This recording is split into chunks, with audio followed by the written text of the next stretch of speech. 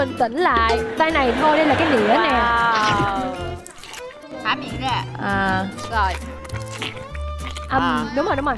Ừm, ngon. Siêu ngon. Em thèm quá. Xuất sắc chưa? Ngon quá. Rồi chúng ta đã thử món đầu tiên. Rồi há miệng ra ha. À. Cháu không ăn nữa hả cháu? Cho em xin thêm đi quá nữa, ngon rồi. Hơi ngon quá rồi. Ê, ngon quá. À. anh ơi cho em thử Ê. miếng được không? Tính ra cái nhà hàng này là thưởng thức là rất là hay nha Nhắm mắt để mà cảm nhận cái mùi vị á. Ờ, lý do tại sao mà hôm nay ờ, em mời tất cả các anh chị trong nhà của mình món mẹt cuốn lá lốt. Đây là một cái món gọi là signature của nhà hàng chay Haley nhiều người nghĩ là ăn chay á, thì sẽ rất là ngán và sẽ bị nhàm chán chỉ là xung quanh là chao là đậu hũ là nước tương. Chắc là các anh chị ở đây cũng ăn chay rất là nhiều thì mọi người biết là hiện tại chay á, mình có thể phối hợp với rất là nhiều các nguyên liệu và cách chế biến nêm nếm để làm sao mà mình có được một cái món mà mình có thể ăn mỗi ngày luôn. Mẹt cuốn lá lốt là mọi người cực kỳ mê món này luôn bởi vì là cái ờ, cái gia vị của nó và cũng như là cái nước chấm. Mình ăn nhưng mà rất là thú vị á, không có bị nhạt miệng và làm cho mình cảm thấy là cái vị giác của mình được kích thích kích thích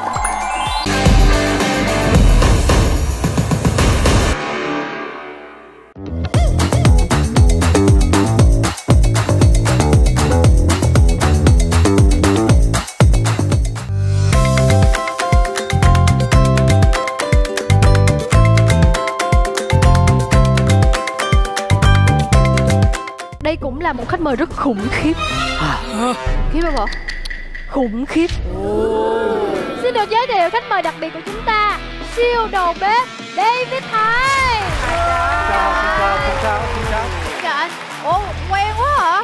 Ồ trời ơi người, người quen người quen người gặp rồi. Chính là siêu đầu bếp David Thái cũng là chủ của nhà hàng Kobe Bistro. À đúng rồi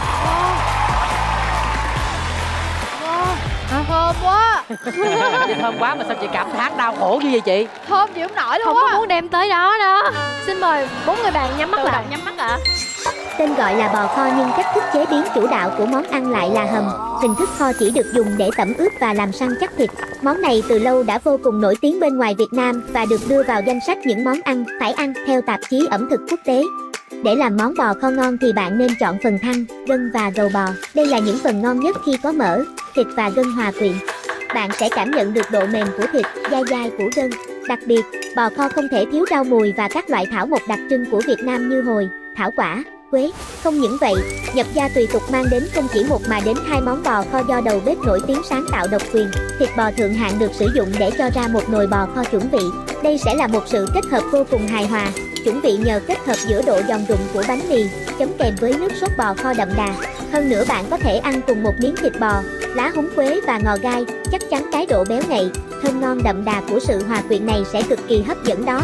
Ngoài ăn kèm với bánh mì thì bạn cũng có thể kết hợp bò kho với hủ tiếu, bún, mì. Khi thưởng thức bạn sẽ cảm nhận được thịt bò kho mềm thơm, nước sốt đậm đà, vô cùng khó tưởng.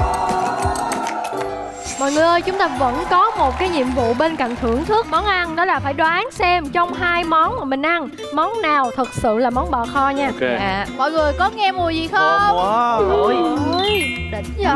dữ vậy? Trời Nghe mùi chưa ủa là có người đút hay sao? Có người đút có người đút nhắm mắt lại đi. Trời ơi sợ Ờ, mình nghe cái mùi rất là rõ. Mình bị cảm giác hồi hộp ấy. Như là cái cảm giác mà một người lạ đúc mình mà mình không biết người ta sẽ đúc mình cái gì. Nó rất là nó rất là hồi hộp. Sao? Từ từ từ từ cái tay của anh bình tĩnh lại. Tay này thôi đây là cái đĩa nè. Há miệng ra à. Rồi. Âm, À. đúng rồi đúng rồi. Ừm, ngon. Siêu ngon em thèm quá. Xuất sắc chưa? Ngon quá. Rồi chúng ta đã thử món đầu tiên. Rồi há miệng ra ha. À.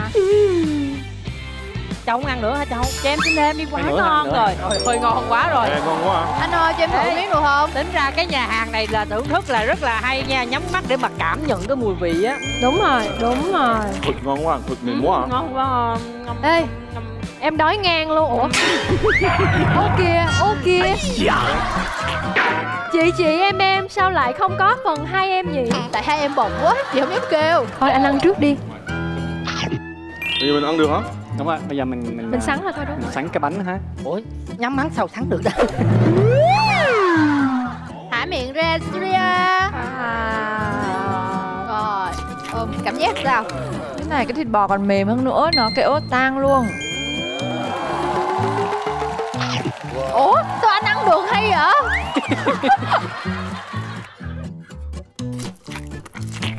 cái này không phải bò kho Dạ, mở, mở miệng ra. Trời ơi, em đút cho một người ăn mà em thèm dễ sợ luôn vậy đó. Trời ơi, anh ăn gần hết luôn rồi kìa. Anh tự. Anh bao lên trên anh ăn gần hết rồi Ủa kìa anh nhưng mà anh vừa nắm mắt anh vừa vừa Anh chích thịt bò mắt ăn anh hả? vừa lấy cái dùng dao dùng nĩa đàng hoàng nha. Ôi. Wow. Mọi người nghĩ là trong hai lượt ăn vừa rồi Lượt nào mới là bò kho? Mời anh Valentine cái ờ, cái món ờ, đầu tiên. Hoa hậu Ngọc Châu. Ờ, em nghĩ món đầu tiên. À, Còn Julia? Em cũng nghĩ món đầu tiên ạ. Anh cảm thấy món thứ hai món là bánh bò kho Hai anh ăn cái món đó nó nghe cái mùi có mùi hầm đậu. Đậu Hà Lan. Đúng rồi đậu hà lan Bây giờ mời tất cả các bạn chúng ta sẽ mở mắt Mở ra. mắt ra. Đây là cái món mọi người vừa thử ở lượt thứ hai.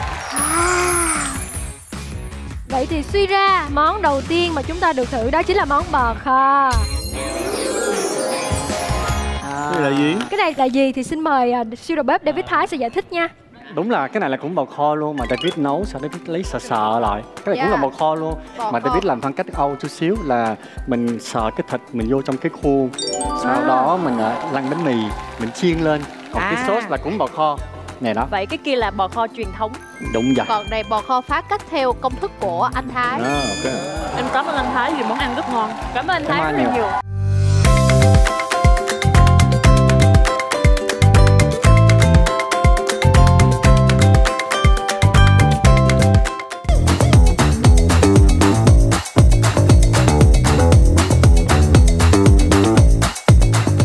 Tiệc khám phá những cái nguyên liệu chay Đúng không? Dạ. Là rau củ quả nấm này nọ. Mọi người nghĩ sao khi mà bây giờ ngày hôm nay mình phá chay? Ngã mặn Ngã mặn Phá chay ngã mặn cũng được em có thể nấu được đồ mặn tại vì bình thường ở nhà á, nấu một cái món gì đó thì em sẽ nấu chay xong Ừ. rồi em sẽ bỏ thịt vô cho gia đình của em ăn. À. Thì em có thể ờ, nấu được. Nhưng mà bây giờ là mình vừa nấu vừa ăn luôn á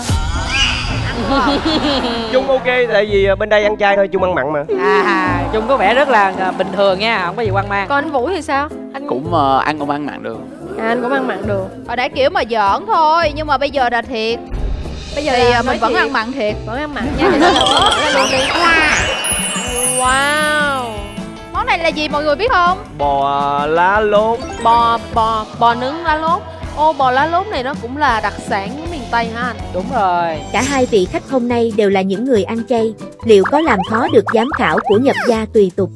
Đương nhiên là không rồi. Mẹ cúng lá lốt với ngoại hình cực kỳ bóng bẩy nhưng bên trong chứa nhiều nguyên liệu thanh mát, cực kỳ phù hợp nếu bạn đang muốn thay đổi thực đơn cho cả nhà sau những món ăn mặn quen thuộc. Với những nguyên liệu không cầu kỳ và cách chế biến đơn giản, chắc chắn đây sẽ là món ăn mang đến một hương vị thơm ngon bất ngờ đấy. Mẹ cuốn lá lốt chay có nhân được làm từ nấm thái nhỏ, phi thơm cùng hành xả tỏi rồi nêm nếm gia vị vừa ăn. Phần nhân vừa xào ra thơm lừng mùi đặc trưng của món Việt, trộn thêm lá lốt và đậu phộng rang giả bể tăng thêm vị béo bùi.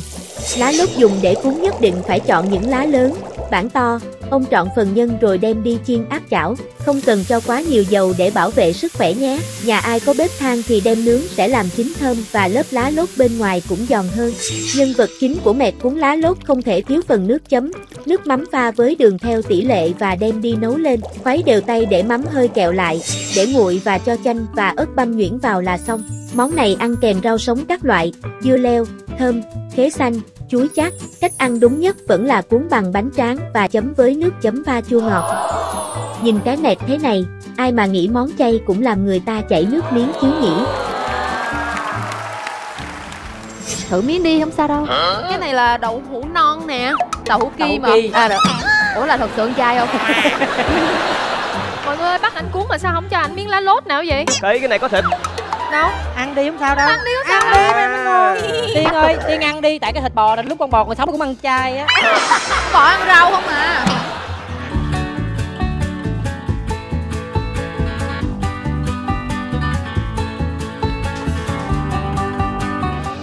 Một, hai, ba.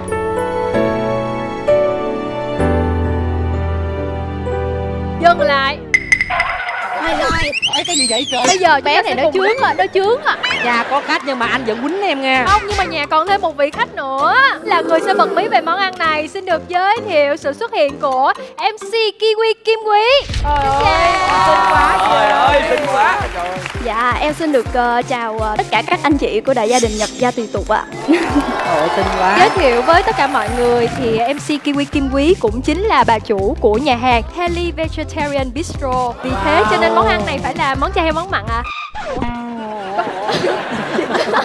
em biết rồi. Em biết rồi hả? Vậy Dạ. mà nãy em sợ. Nhưng mà, nhưng mà nãy em tưởng đâu đã mặn ngay từ đầu chị đã nói trôn rồi mà em vẫn sợ Bây giờ là em được nói sự thật Em đúng được không? nói chứ Nói đi em Dạ, ờ, lý do tại sao mà hôm nay ờ, em mời tất cả các anh chị trong nhà của mình món mẹt cuốn lá lốt. Đây là một cái món gọi là signature của nhà hàng cháy Heli. Nhiều người nghĩ là ăn chay thì sẽ rất là ngán và sẽ bị nhàm chán. Chỉ là xung quanh là chao, là đậu hũ, là nước tương. Chắc là các anh chị ở đây cũng ăn chay rất là nhiều thì mọi người biết là hiện tại chay á, mình có thể phối hợp với rất là nhiều các nguyên liệu và cách chế biến nêm nếm để làm sao mà mình có được một cái món mà mình có thể ăn mỗi ngày luôn mẹt cuốn lá lốt. Mọi người cực kỳ mê món này luôn bởi vì là cái ờ, cái gia vị của nó và cũng như là cái nước chấm. Mình ăn nhưng mà rất là thú vị á, không có bị nhạt miệng và làm cho mình cảm thấy là cái vị giác của mình được kích thích kích thích. Bây giờ thì xin phép được mời mọi người ăn thiệt nha. Ê, Dạ, từ mình nãy tới giờ á ba chị em mình á giống như là quỷ á. Ăn đi ăn đi. Khoai khoai khoai vậy nè mở ra để bỏ vô lại hiểu không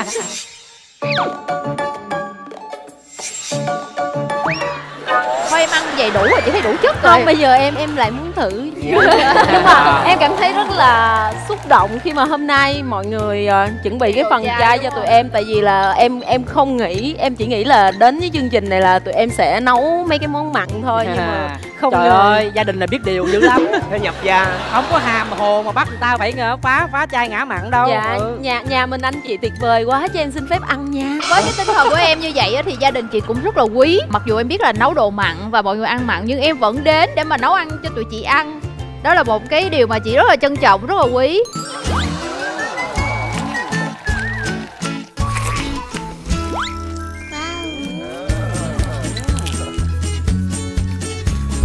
em thấy là anh ăn cũng gần hết cái cuốn rồi đó anh có Nhưng mà nó có được một chút nghệ ở trong đây không em? Có xả? Ừm, dạ không Đậu có nghệ. Để em bật mí một chút nha là trong cái lá lốt này á là sẽ có thành phần chính là có nấm và có sườn chay. Thì khi đó là mình sẽ băm nhuyễn và mình sẽ trộn đều nêm nếm cùng với các gia vị. Và bên cạnh đó là mình còn trộn cùng với lại đậu phộng và lá lốt nữa. Nó bắt vị và đặc biệt là cái lá lốt là một loại cực kỳ cực kỳ tốt cho sức khỏe của mình luôn. Người Việt Nam mình rất là thích ăn những cái món cuốn chấm nước mắm. Nhà hàng nó có thể hỗ trợ gia đình được cái khúc nước chấm không? Chứ để mấy bạn mà tự làm nước chấm Dạ. thì ờ, chị nghĩ hơi khó. Bây giờ em phải nhập gia tùy tục thôi mình tới nhà của anh chị thì em cũng phải biết điều một chút. Nên là em sẽ tặng cho anh chị một nửa linh hồn đó là nước mắm.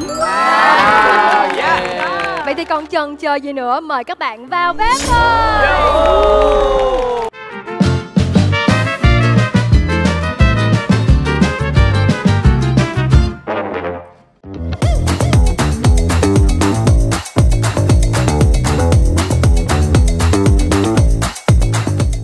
mọi người có thấy chúng tôi có gì đó khác biệt không ạ? chị thấy em điệu quá điệu.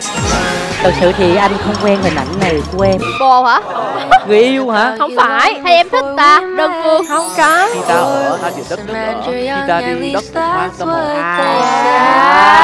một kim cương được không? Dạ được á em con bé này nó trời ơi nó dại trai dễ sợ luôn á.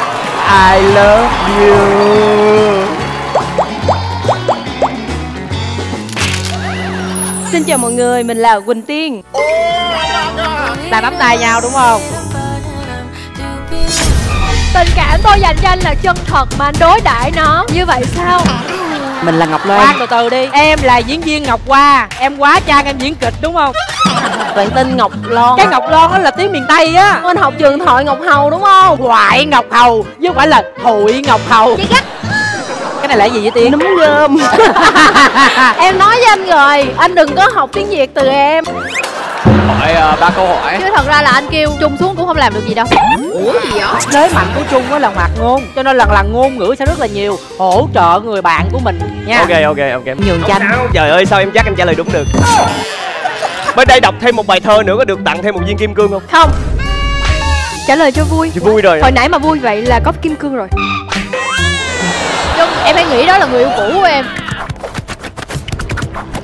Em thấy là đút thêm vài miếng dưa hấu nữa hết giờ là kịp luôn á. Chung xuống cũng không làm được gì đâu. Cùng đón xem nhấp nha tùy tục. Vào thứ hai hàng tuần lúc 20 giờ 30 trên kênh VTV3 và 21 giờ 30 trên kênh YouTube TV Hub.